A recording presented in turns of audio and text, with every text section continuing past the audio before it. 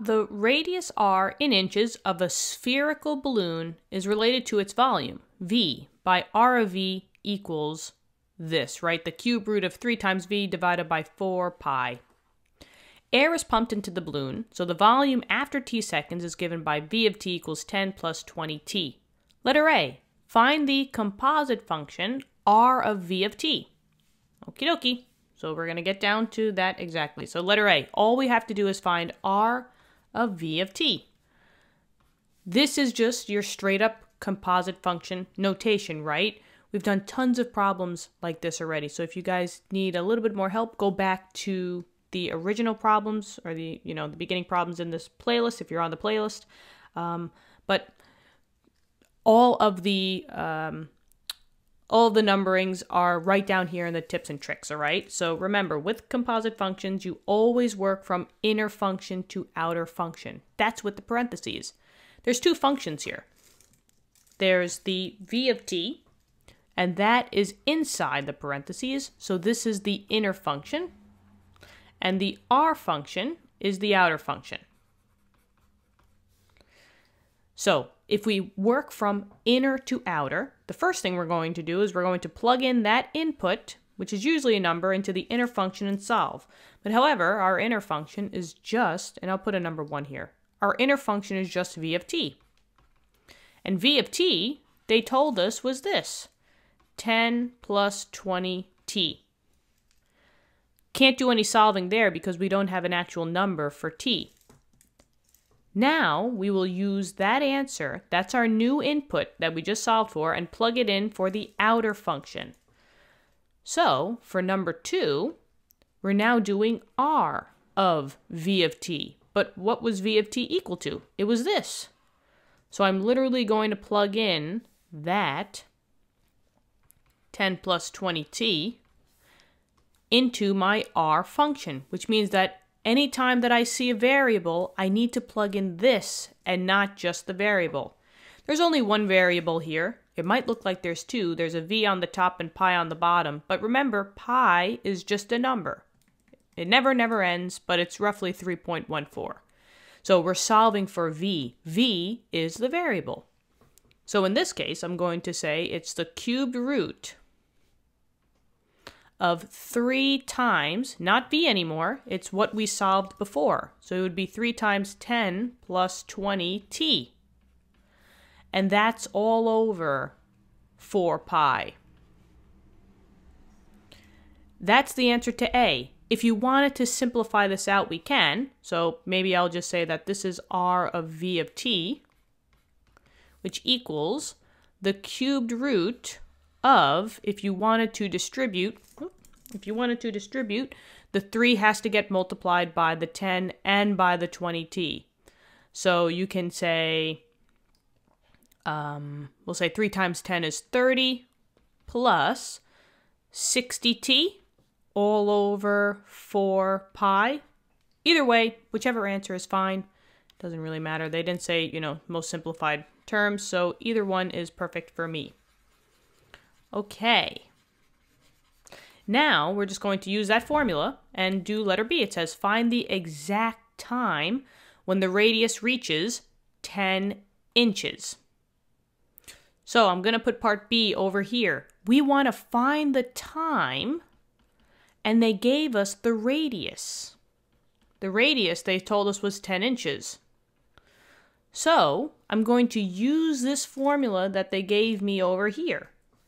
I'm going to simplify this as, well, actually I'm first going to write it and then I'll tell it to you guys. So right now we have this. I'm going to take the, the one at the bottom, the one that we simplified. So this would be 30 plus 60t all over 4 pi. Okay, now we have basically two variables here. We have the t, the t, which is the time, and we have this whole junk, which is basically just the outer function, and the outer function is an r, so that means that this is a radius. So I can just say that this is a radius. Now it makes it much simpler. Now we just have one formula where I need to find the time when the radius equals 10. Where am I going to put the 10, guys? Am I going to put the 10 on this side for the r? Or am I going to put the, the time on this side, or the 10 on this side for the t? What do you think? It's definitely going here because 10 inches, that's an r value. It said when the radius reaches this. So I'm going to say this is 10 equals the cubed root of 30 plus 60t all over 4 pi. Now it's just algebra time. So we have to undo the cubed root. That's the first thing we got to do. So how do you undo a cubed root? You just cube it. That's it. So whatever you do on one side, you got to do on the other side, all right? So if you cube a cubed root, bye-bye. That whole thing goes bye-bye. But now we have to just do 10 cubed. And 10 cubed is 10 times 10 times 10. So this would now be a 1,000 equals 30 plus 60t all over 4 pi.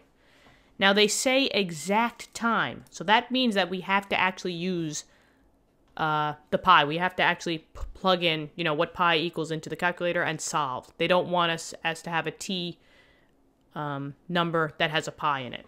So now we come here, and I can say that this is a thousand over one, and now I have two fractions. What you can do is you can cross multiply. So a thousand times 4 pi equals 30 plus 60t. And now I'm actually going to do this math. So it's basically 4,000 times pi. You get, actually, you know what, maybe, maybe I'll do the math at the end. Just so that we get an exact, exact, exact, I'm not um, simplifying at any point in time. So we want to solve for t. So I have to get rid of the 30 on both sides.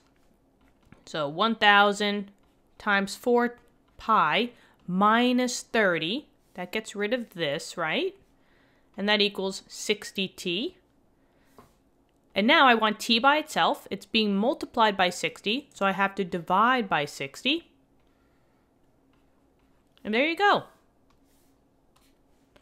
So now I just have to plug this into the calculator.